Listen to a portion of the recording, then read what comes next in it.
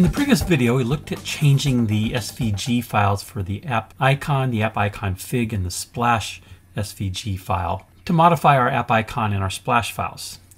Now, you may be like me that I'm not as comfortable in Adobe Illustrator as I am in Adobe Photoshop, or maybe you don't have Illustrator, but you do have Photoshop or some other graphic program for working with bitmaps.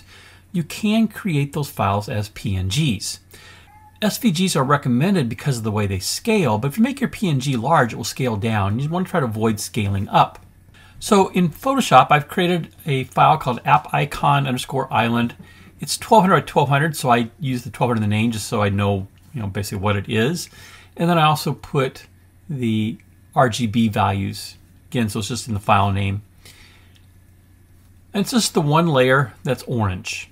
And then I have the app icon fig underscore island underscore 1200 PNG. It's got a transparency for the sky. Everything else is opaque. Uh, very similar to what we created in Adobe Illustrator. And then basically have the same file for the splash. Saved all three of those out. We're going to bring those into our Visual Studio project and see how those will work for our icon and our splash. Let me jump over to Visual Studio. So I'm going to start by going to the resources. Let's go to the app icon. And I'm going to take the app icon here and I'm going to set its build action to none for now. We may get rid of those files. The app icon fig already has a build action of none. And I'm going to do the same thing for the splash I'm going to set its build action to none. Then for the app icon, I'm going to add existing files. I'm going to bring in my two PNG files that I've created. Copy those. And I want to take the app icon file and set its build action to Maui icon and then the app icon fig file I'll set the build action there to none. I'm going to bring in my splash file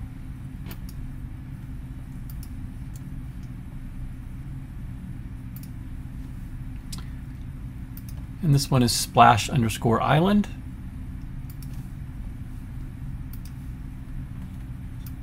and I'm going to set its build action to Maui splash screen.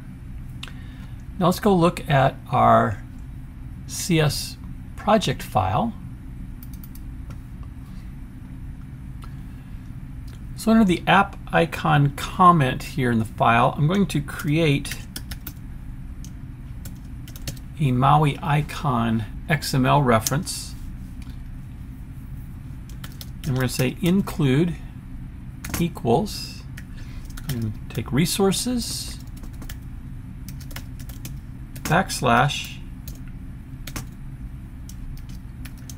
app icon, backslash, in the name of my file, I could rename it to shorten it. I'm to leave it as app icon underscore island underscore 1200 underscore ff7700 and that's a PNG file. So we do a .png. I'm going to set the foreground file equal to, and I'm just going to copy that reference and paste it. And all I'm going to do is change app icon underscore island app icon underscore app icon fig fg underscore island. I'm going to set the color equal to hashtag ff7700. Now because this is a PNG file, we also have to tell it the base size. And the base size is 1200 comma 1200 Close that tag. And I'm going to copy that. Let's do our Maui splash screen.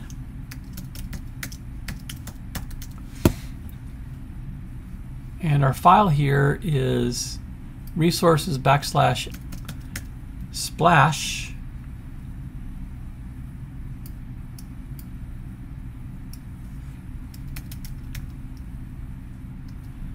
splash underscore island underscore 1200 that's a PNG file you can get rid of the foreground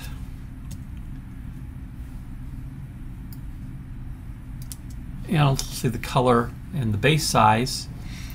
So again, since this is a PNG, I have to tell it the base size so it knows how to scale.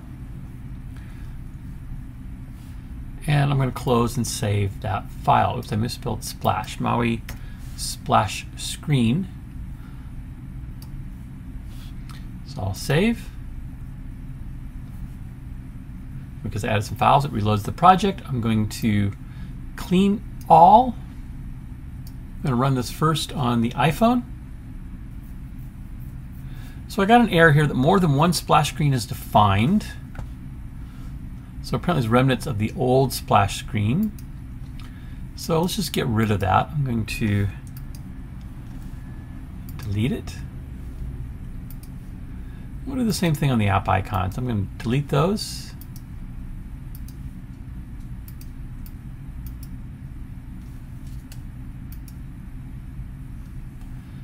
And then again, I'm going to clean all.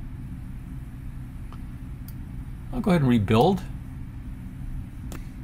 And unfortunately, this particular error message is just the the resizetizer codes reporting an error, but I don't know where exactly where that error is. But if we look through the contents here, we might be able to find where the problem was.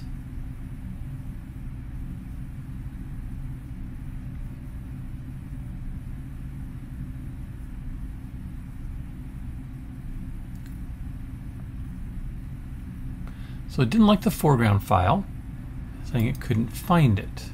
Let's go back into the CS project file. So a little error on the error message. I've got the color code at the end of that file. To fix that. Let's try cleaning all again and rebuild. It was reloading the files while the build failed. Let's try rebuilding again. Let's try running this on the iPhone. We'll see if it builds for the iPhone. Okay. So there's one thing we have to do on the Mac. We, since we changed the name of the file, I've got app icon. So I need to do two more things for the platforms. Since I've changed the name of the files being used for the app icon, I need to go into iOS, go to the info plist, and I need to change this app icon to the names of my files. So app icon underscore island underscore 1200 underscore ff7700. Now we'll see, I'm thinking I probably need to have the same name for the icon fig that's ending in that ff7700. So what I'm going to do is I'm going to make this 1200 and I'm going to change the name of my file here to get rid of that FF7700.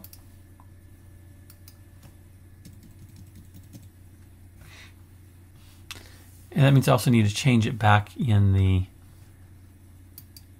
CS project file.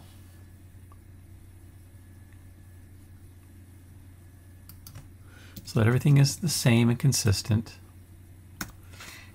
Let's try that. And while I'm here, I'm going back to the Android. I want to go to the Android manifest. And let's change that app icon to underscore island underscore 1200.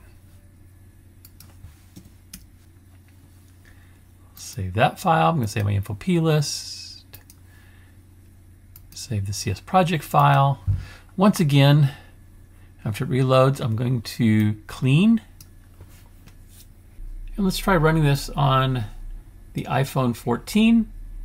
And I could have simply renamed those two app icon files to just app icon, app icon fig.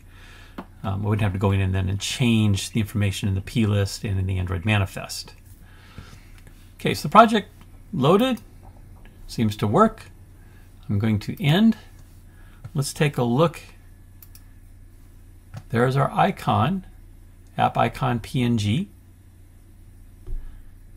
And if I run this, the splash screen doesn't work here in iOS, as we saw previously. I'm going to end that application. Let's go back and try this on the Samsung S20. Now I got an error in terms of my targets. I'm going to go back to my Android manifest and let's make sure we set the targets here. So I'm going to do 12.0 and 13.0 and let's try this again.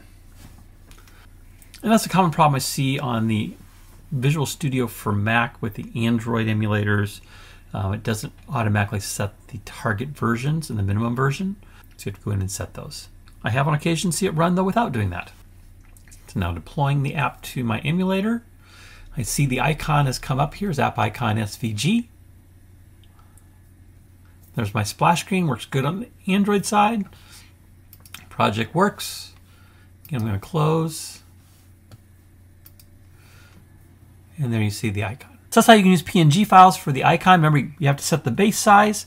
I'd make them large, so 1200 by 1200 I think is a great size to develop an, an icon in for .NET MAUI.